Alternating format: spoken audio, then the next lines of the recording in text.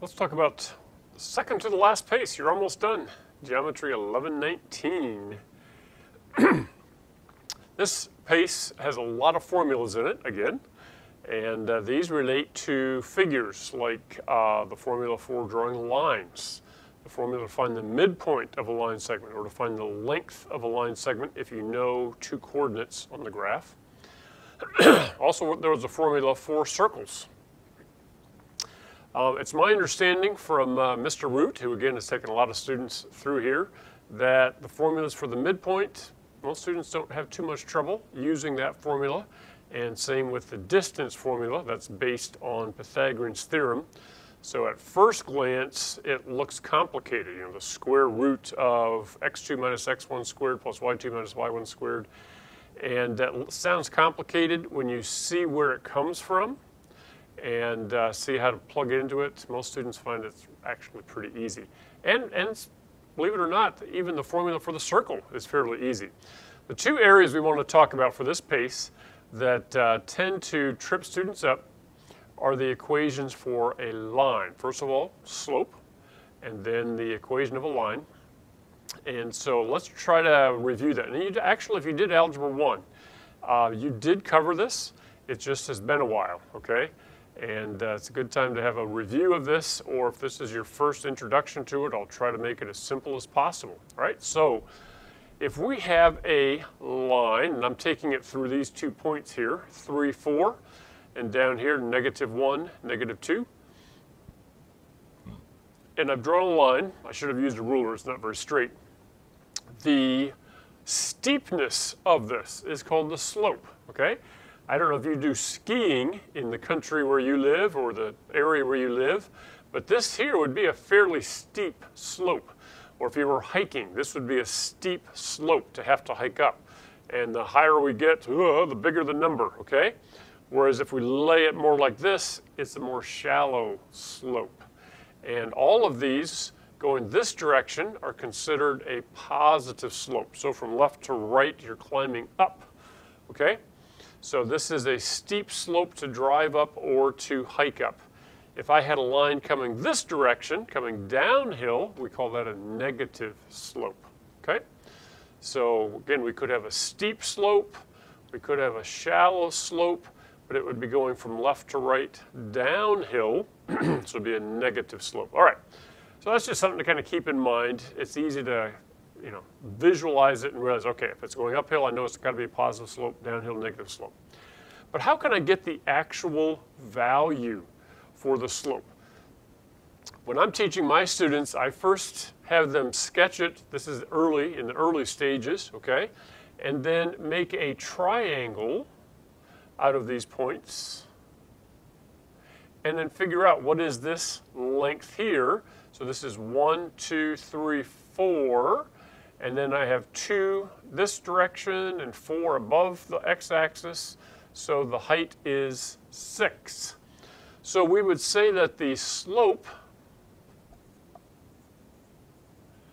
in any textbook that you look at will express it this way, the rise over the run, okay? So the rise is the up and down part, and the run is going this direction. So in this case, the slope would be 6 over 4, which when you reduce that would be 3 over 2, okay? So that's one way to do it is if you have it, you could graph the points, make a triangle, figure out the rise over the run. But sometimes they are going to give us numbers that are harder to graph, or maybe impossible to graph. And uh, there needs to be a formula, okay? Mathematicians love formulas, so let's get a formula together to um, solve for the slope. So rise is the change on the y-axis. So we call this the change in y, triangle y. Delta y, that's actually the Greek letter delta, which means the change in y over the change in x. So the change in y is the same as rise. Change in x is the same as run. Now, in order to solve this, we need to have a formula that even goes further and tells me which numbers to plug in. Well, the change in y is the second number here. Because remember, in any point, we have x and then y, okay? I'm going to call this the second point, x2, y2. I'm going to call this one x1, y1.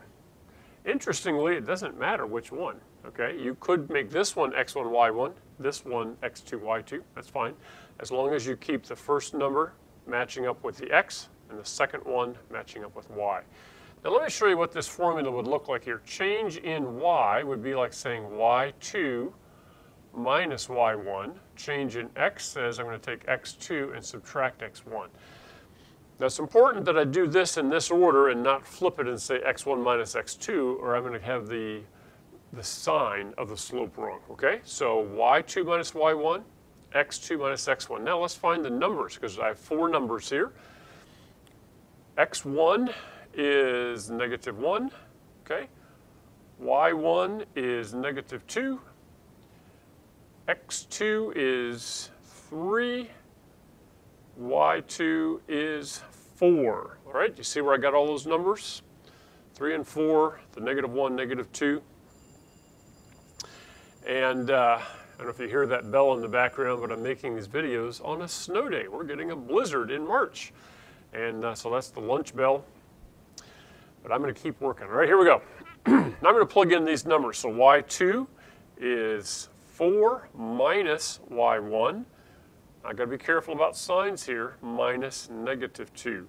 x2 is 3 minus, be careful about the sign here, plug in negative 1. Okay?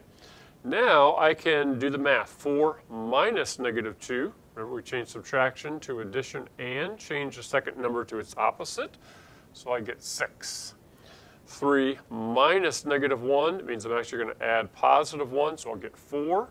When I reduce that, I get 3 over 2. Hey, same answer I got before, okay?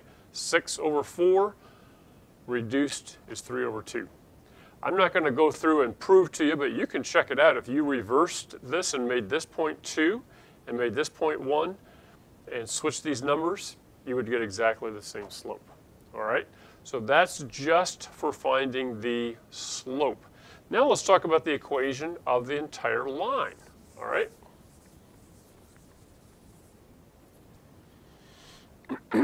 Once I know that this line is going through the point 3, um, or has the slope 3 over 2, that, if I use the slope-intercept form, I could plug in here for m. m represents the slope, okay?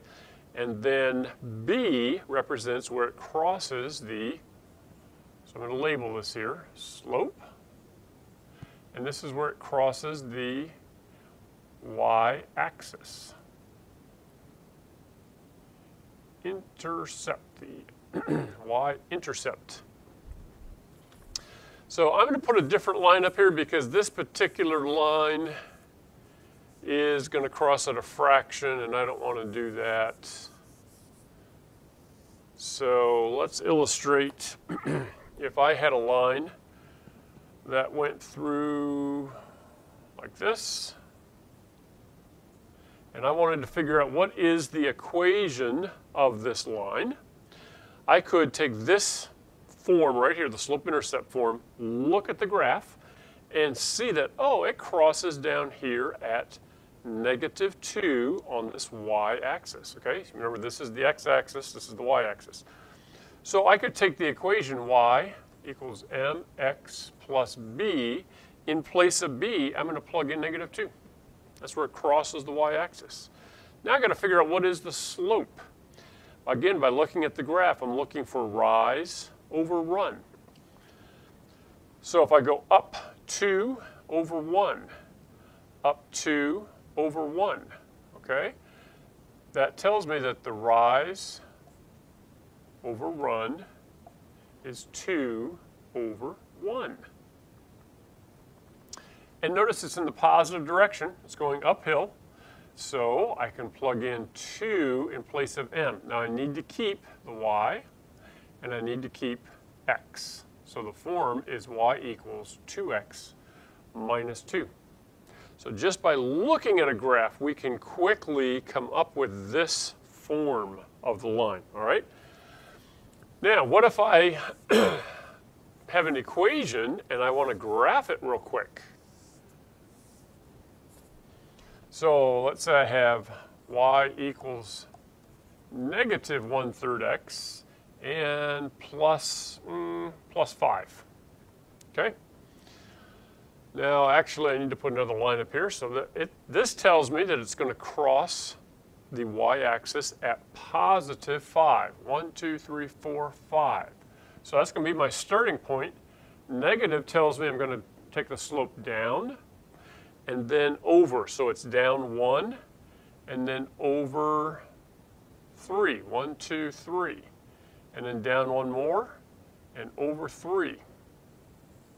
Connect the dots, and I've drawn the equation of the line. Isn't that easy? The slope-intercept form is, is like the greatest formula for lines because it's very easy to uh, go either from the line to this equation or to go from this equation and put it into a line.